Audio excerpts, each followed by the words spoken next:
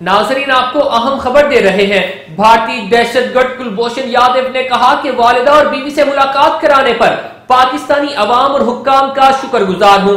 भारतीय दहशतगर्द कुलभूषण यादव का वालदा और बीवी से मुलाकात के बाद वीडियो पैगाम जारी हुआ।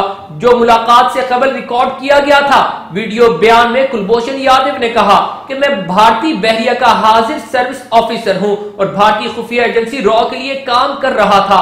दो साल पहले बॉर्डर पार करके ईरान से पाकिस्तान में दाखिल हुआ और पाकिस्तानी सिक्योरिटी इदारों के हाथों बलोचिस्तान में गिरफ़्तार हुआ।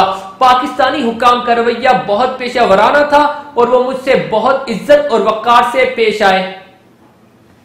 From Iran into Pakistan about two years back while working with RAW and was apprehended by the Pakistani law enforcing agencies in Balochistan. And I'm really thankful to the government of Pakistan for showing this grand gesture.